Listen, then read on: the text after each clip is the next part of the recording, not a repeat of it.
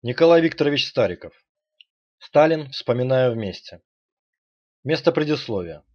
Сталин – русский националист, говорят русские националисты. Сталин – коммунист, говорят коммунисты. Сталин – мразь и негодяй, говорят мрази и негодяи. Неизвестный автор. Сноска. Я не смог найти фамилию автора этих строк. Прошу его откликнуться, чтобы его имя заняло место рядом с его афоризмом. Вероятно, в истории России нет более известного человека, чем Иосиф Виссарионович Сталин. И одновременно нет другой персоны, о которой было бы сочинено столько лживых историй. Нет политика, которому бы приписывали столько несказанных им слов и фраз. Нет государственного деятеля, которого бы обвиняли в стольких несовершенных ими преступлениях. Как разобраться в этой личности, в его успехах и ошибках, достижениях и поражениях? Рецепт один. Читать и думать. Эта книга не является биографией Сталина. В ней собрана далеко не вся информация об этом человеке. Для этого не хватит и десяти томов. Да и цели такой не было. Задача у книги, которую вы держите в руках, совсем другая. Описать Сталина через воспоминания тех, кто знал его лично. Поэтому эту книгу я писал не один. Огромное количество простых людей прислали мне материалы, откликнувшись на призыв вспомнить Сталина таким, каким он был. Я признателен всем, и тем, чьи воспоминания вошли в книгу, и тем, чьи материалы по каким-либо причинам в нее не вошли. Это наша общая книга. Мы вместе вспоминаем, вместе думаем и анализируем, вместе узнаем что-то новое об Иосифе Виссарионовиче Сталине. Начнем наш экскурс в историю с небольшой загадки. Хочу предложить вашему вниманию фрагменты из выступления одного известного человека. Прочитайте и попробуйте определить, кто это сказал и в какой период времени он это сделал. Вспомните положение дел в ведущих экономиках мира два с половиной года тому назад. Рост промышленного производства и торговли почти во всех странах капитализма. Рост производства сырья и продовольствия почти во всех аграрных странах. Ореол вокруг США как страны самого полнокровного капитализма. Победные песни о процветании. Низкопоклонство перед долларом. Словословие в честь новой техники, в честь технического прогресса. Объявление эры оздоровления капитализма и несокрушимой прочности капиталистической стабилизации. Так обстояло дело вчера. Какова картина теперь? Теперь экономический кризис почти во всех промышленных странах мира. Теперь сельскохозяйственный кризис во всех аграрных странах.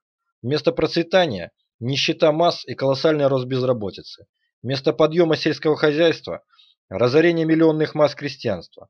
Рушатся иллюзии насчет всемогущества капитализма вообще – всемогущество североамериканского капитализма в особенности. Все слабее становятся победные песни в честь доллара и технического прогресса. Все сильнее становятся пессимистические завывания насчет ошибок капитализма. Такова картина теперь. Я думаю, что нет необходимости особенно останавливаться на цифровых данных, демонстрирующих наличие кризиса. О том, что кризис существует, теперь уже не спорят. Теперь, когда мировой экономический кризис развертывает свое разрушительное действие, спуская ко дну целые слои средних и мелких капиталистов, разоряя целые группы служащих и фермеров и обрекая на снижение уровня жизни, все спрашивают, где причина кризиса, в чем его основа, как с ним бороться, как его уничтожить. Измышляются самые разнообразные теории кризиса. Предполагаются целые проекты смягчения, предупреждения, ликвидации кризиса. Оппозиция кивает на правительство, которое, оказывается, не приняло всех мер для предупреждения кризиса. Демократы обвиняют республиканцев, республиканцы – демократов, а все вместе Федеральную резервную систему, которая не сумела обуздать кризис. Нынешний кризис нельзя рассматривать как простое повторение старых кризисов. Он происходит и развертывается в некоторых новых условиях, которые необходимо выявить, чтобы получить полную картину кризиса. Он усложняется и углубляется целым рядом обстоятельств, без упоминания которых невозможно составить себе ясное представление о нынешнем экономическом кризисе. Что за особые обстоятельства? Первое. Кризис сильнее всего поразил главную страну капитализма, его цитадель – США, сосредотачивающую в своих руках не менее половины всего производства и потребления всех стран мира. Второе. Нынешний капитализм, в отличие от старого капитализма, является капитализмом монополистическим, не может быть никакого сомнения, что в связи с развивающимся кризисом борьба за рынки сбыта, за сырье, за вывоз капитала будет усиливаться с каждым месяцем, с каждым днем. Средства борьбы. Таможенная политика, дешевый товар, дешевый кредит, перегруппировка сил и новые военно-политические союзы, Рост вооружений и подготовка к новым войнам. Наконец, война. Я говорил о кризисе, охватившем все отрасли производства. Но есть одна отрасль, которая не захвачена кризисом. Это отрасль военно-промышленность. Она все время растет, несмотря на кризис. Различные государства бешено вооружаются и перевооружаются. Для чего? Конечно, не для беседы, а для войны. А война нужна, так как она и есть единственное средство для передела мира, для передела рынков сбыта, источников сырья, сфер приложения капитала. Вполне понятно, что в этой обстановке так называемый пацифизм доживает последние дни. ООН гниет заживо, проекты разоружения проваливаются в пропасть, а конференции по сокращению вооружений превращаются в конференции по обновлению и расширению вооружений. Это значит, что опасность войны будет нарастать ускоренным темпом. Актуально? Весьма. Как вчера сказано. Кто сказал? Очень известный человек.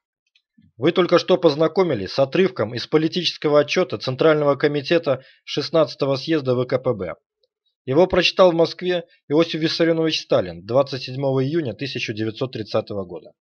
81 год уже прошел с тех пор, а в мире ничего не изменилось. Сноска. Чтобы не было заметно, что это текст 1930 года, я произвел в нем несколько замен, сохранив общий смысл. Так сказать, чуть осовременил. Вот список изменений, сделанный мной в тексте Иосифа Виссарионовича Сталина. Капиталистических странах заменил на ведущие экономики мира. САСШ, североамериканские Соединенные Штаты, заменено на США. Капиталистические рационализации заменено на технический прогресс. Капитализм заменено на мир. Рабочая аристократия заменено на служащих. Обрекая на голод миллионные массы рабочих, заменено на обрекая на снижение уровня жизни. Буржуазная оппозиция кивает на буржуазное правительство, заменено на оппозиция кивает на правительство. Группу Гувера с ее Федеральной резервной системой заменено на Федеральную резервную систему. К новым империалистическим войнам заменено к новым войнам. Буржуазное государство заменено на различные государства. Война нужна империалистам, заменено война нужна. Лига наций заменено на ООН. Морских вооружений заменено на вооружений. По обновлению и расширению морского флота заменено на по обновлению и расширению вооружений.